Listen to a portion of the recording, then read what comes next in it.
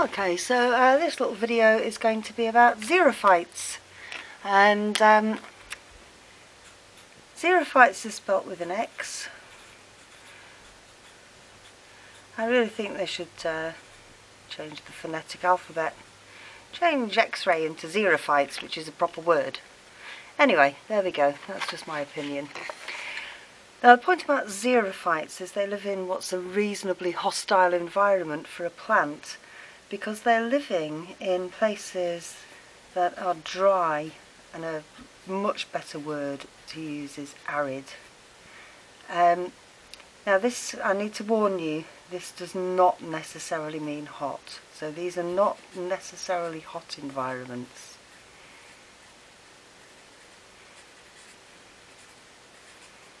So we have plenty of xerophytes um, living in the UK. So they could be places that are uh, windy.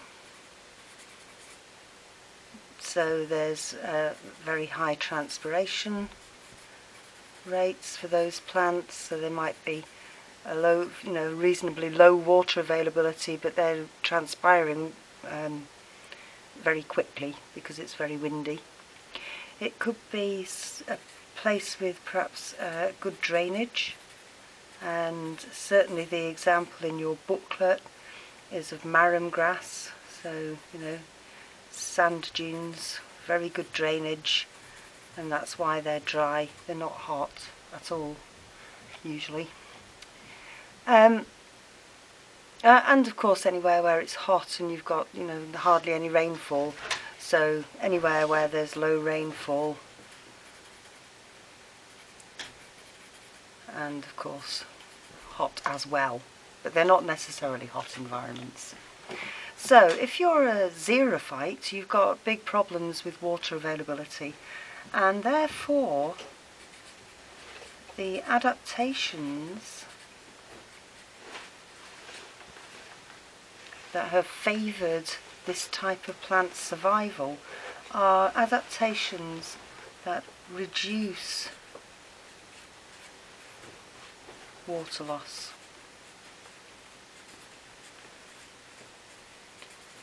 by transpiration.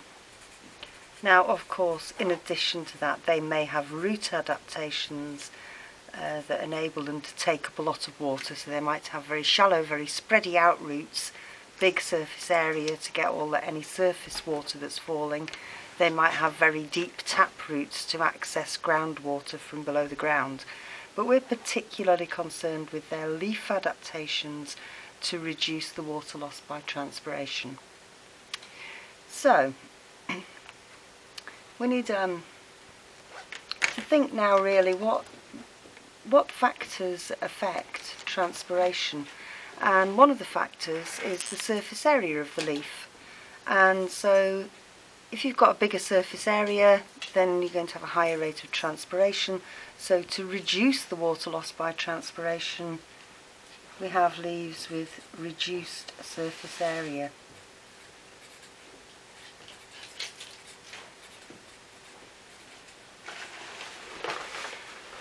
And an example would be plants with uh, needles, uh, like uh, pine trees. They live at, uh, you know, they're altitude trees really so tend to be sort of cold but windy, low water availability, there's lots of drainage going on. Um, so you've got pine, um, heather, uh, which we call the ericaceous species.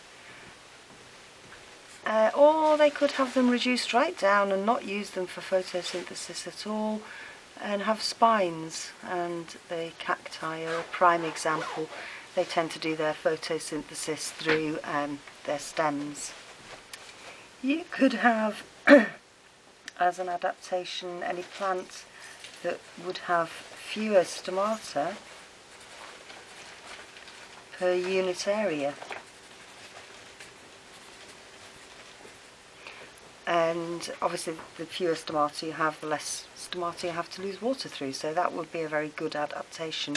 Those plants would survive better and, and pass on their alleles for fewer stomata.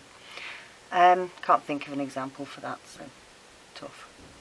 Um, plants, obviously the one that students tend to think of are to have a, a thicker waxy cuticle than normal. And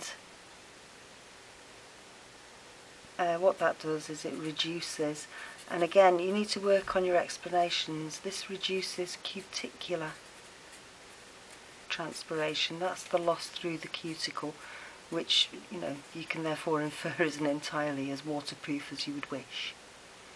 And then we have adaptations. So this is this sort of deals with the surface area aspect of diffusion. This uh, you know is about sort of waterproofing and then we have all sorts of adaptations that reduce the diffusion gradient. so if you remember your sort of um, diffusion stuff, the things that increase the rate of diffusion are things like you know higher temperatures. There's nothing a plant could do about having higher or lower temperature. Um, surface area, concentration gradient. Concentration gradient is something that plants have actually got adaptations to reduce. So I'm going to chunk all these three together. So one thing that could happen is you could have sunken stomata. I'll draw you a little picture in a minute. You could have trichomes, which is a posh word for uh, plant hairs. Now this is not hair like our hair that's sort of made of units of protein secreted from a cell. These are more like root hair cells where the sort of cytoplasm is extended to make a trichome. And you could have rolled leaves. And again, back to those later. So, these three all trap water vapour and that's important, it's water vapour not water. It's the gaseous form of water, it's evaporated. They trap water vapour near to the stomata and reduce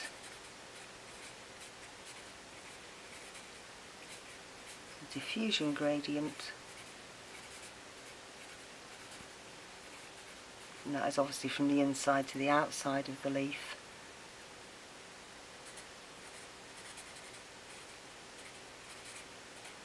reducing rate of diffusion from the leaf. So let's do those in sort of a little bit more detail and there is another video where I show you lots of beautiful pictures of lovely plants with little diagrams of what their leaves are like. But with sunken stomata, what we're really saying is that if you got your epidermis coming along like this, in a normal plant, the guard cells are kind of on the surface like that in the stomata. So that would be the sort of leaf surface and of course your water vapour is evaporating diffusing out and forming a little diffusion shell around the stomata. A sunken stomata might be where your epidermis is coming along like that, but your guard cells are up here somewhere.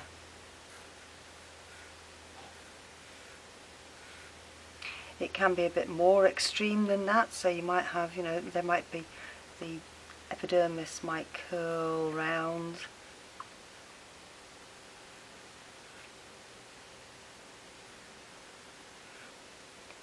so that you get your stomata right the way, really quite a long way inside the leaf.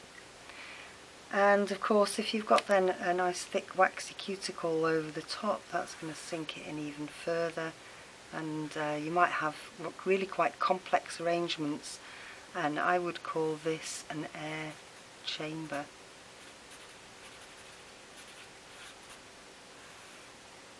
So what happens here is the water vapour diffuses out, but it kind of gets stuck here. So you've got much longer diffusion path, but also because your water vapour is kind of trapped in this little air chamber here, it's not really kind of going anywhere fast. So, you know, it, it's then, it's kind of having to go quite a way to make a diffusion shell around the, uh, around the chamber. Uh, in addition to that, a lot of these plants also have hairs, these trichomes, that may well sort of lie the extensions of, it's usually epidermis, so I shouldn't have done it on the cuticle, but they might have little hairs that again are just trapping that water vapour and trying to keep it next to the stomata so that you get a much less gradient. and of course, switch colour again. Things like marram grass also sort of roll their leaves round so the stomata are on the inside. This in no way looks like marram grass, I'd just like to point out. uh, but you you know, you've got pictures of marram grass in your booklets and there's hundreds on the internet. Um, and again, you know, not only are those protected from that wind that could blow the diffusion shell away because that's what wind does, that's how it increases rate of transpiration, it kind of you know goes across there and takes that away with it. Um, but here the wind would be on the outside and therefore the inside of the roll would be protected.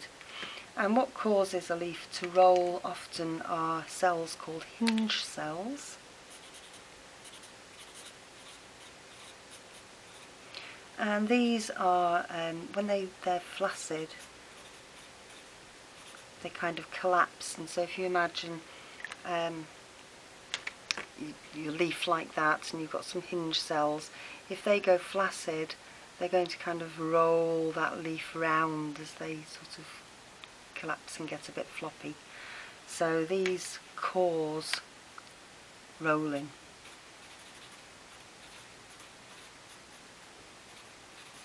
Now of course if you're living somewhere dry with a high transpiration rate, um, one of the issues that you might face is that your cells might go flaccid, but of course you still need to be in a lovely upright um, supported position to get light for photosynthesis. So these plants very often are um, quite uh, stiff, uh, they've got a lot of what's called sclerenchyma, these are sort of quite stony cells.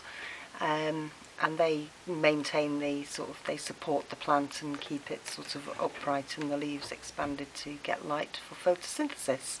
So that's also quite exciting. Probably not quite as important as you learning this. Now obviously if you've got a list of stuff list of uh, adaptations that you need to know quite a good way is to try and make a little mnemonic to help you remember it. Um, Right, you've got some good letters in there, you know. S is always a good one for a mnemonic, as is F, in fact. Okay, enjoy making your mnemonic.